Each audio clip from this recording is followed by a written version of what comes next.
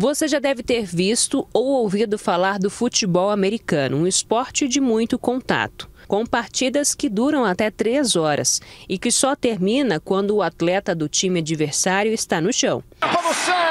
Se protege, olha, escaneou o campo, passe louco.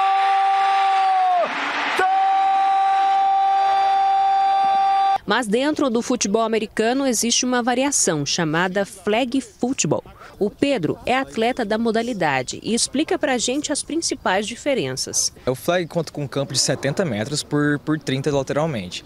É, cada equipe tem 10 atletas, mas só 5 entram em campo. Cada time tem o seu time de ataque e o time de defesa. As pessoas podem dobrar também, mas ele é especialista em cada área. Então, quando o time de ataque está, o time da defesa tá, do outro time está lá, no campo. O Lucas Eduardo é coach do time Goianos Futebol Americano. Foi atleta por 10 anos e agora treina e seleciona jogadores para a seleção brasileira. A gente faz um tryout, que é como se fosse uma seletiva, que ela é aberta, as pessoas se inscrevem. E tem alguns exercícios base, é, formas de correr, de se movimentar, mudar de direção.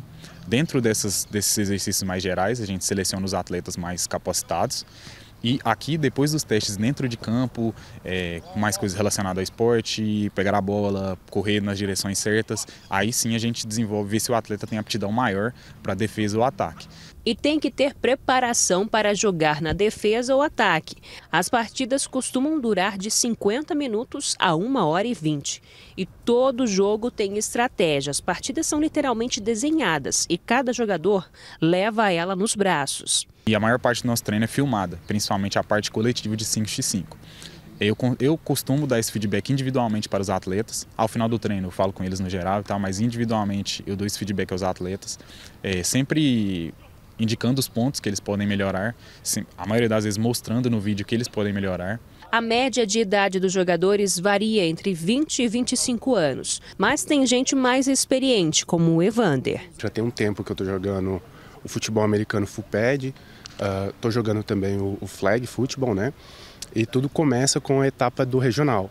Então, semana que vem, né, no próximo sábado, nós temos aqui em Goiânia a etapa do Centro-Oeste, a etapa de flag Centro-Oeste que vai selecionar alguns times para superfinal, que é que seria a etapa final que provavelmente deve acontecer em São Paulo. O Marcos tem 21 anos e daqui uns meses viaja para o México para jogar pela seleção brasileira de flag. Foi uma surpresa.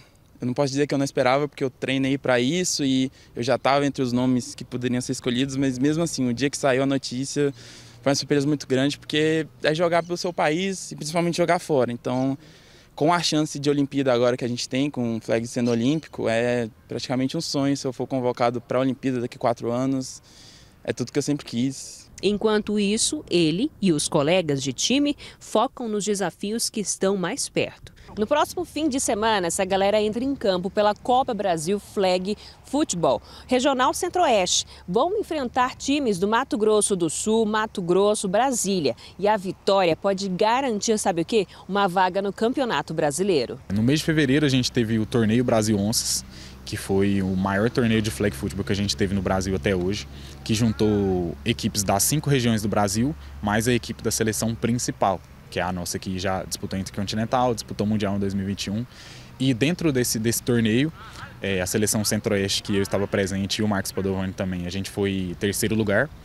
E dentre os atletas, todos os atletas desse torneio, independente de colocação, foi selecionado dois grupos de atletas para disputar dois torneios internacionais pela seleção brasileira esse ano.